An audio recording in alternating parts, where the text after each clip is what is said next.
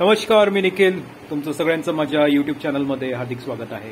तर मित्रांनो आजचा विषय आहे बिग बॉस विजेता सूरज चव्हाण यांच्यावरती आज सूरजला सपोर्ट करणारे बरेच मंडळी आहेत आणि काही लोक असे म्हणत आहे की त्याला सहानुभूती भेटली त्याच्यामुळे तो जिंकला. पण हे कुठेतरी चुकीचं आहे. सहानुभूती कशाची म्हणताय हो? गोलीगत पॅटर्न एका बुक्की टेंगोड बोलला नाही का तो? घरात तो काही फक्त बसून नाही राहिला नाचताही येतं त्याला एंटरटेनमेंटही केलं आणि टास्कही केले. जे लोक म्हणून राहिले ना की त्यांना सहानुभूती भेटली ओ भाऊ जाऊन एकदा बघा ते चॅनल माझं काय म्हणणं आहे?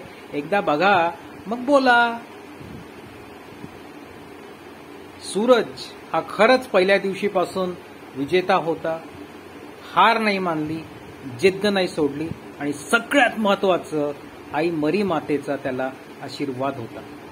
नवरात्रीचे दिवस चालू आहेत. जे लोक हे म्हणतात की सूरजला सहानुभूती पायी तो जिंकला आहे हे चुकीचं आहे.